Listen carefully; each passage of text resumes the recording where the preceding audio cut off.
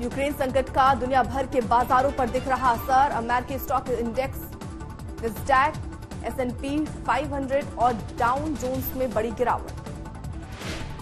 LIC का पचहत्तर हज़ार करोड़ का टैक्स चुकाने से इनकार, कर भुगतान के लिए अपने फंड का नहीं करेगी इस्तेमाल। महँगाई भत्ते के एरियर पर जल्द हो सकता है फैसला। सरकार ने जनवरी 2020 से जून 2021 तक डीए के भुगतान पर लगाई थी रोक। दो महीने में दूसरी बार बढ़े साबुन, सर्फ और पाउडर के दाम। FMCG company Hindustan Unilever limited ने फरवरी में तीन से दस फ़ीसदी तक बढ़ाए दाम।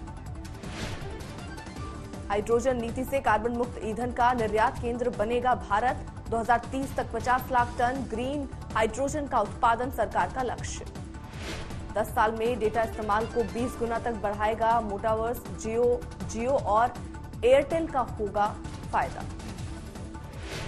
चीन ने चौवन ऐप पर पाबंदी के भारत के कदम की आलोचना की। वैध हितों को नुकसान पहुँचाने का लगाया आरोप। एक भारतीय शॉपिंग वेबसाइट और चार बाज़ार, नकली सामानों के गढ़, कुख्यात बाजारों के अमेरिकी सूची में शामिल। दिसंबर 2021 के दौरान चौरासी लाख करीब मोबाइल नंबर में हुई पोर्टेबिलिटी, करीब एक करोड़ ग्राहकों ने छोड़ा जियो का साथ।